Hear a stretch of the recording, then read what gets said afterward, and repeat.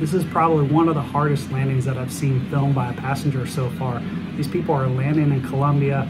They're coming in. Passengers thinking, hey, things are great. And there it goes. I can't even hold on to my phone. The plane's getting airborne again. That's how hard the pilot hit the runway.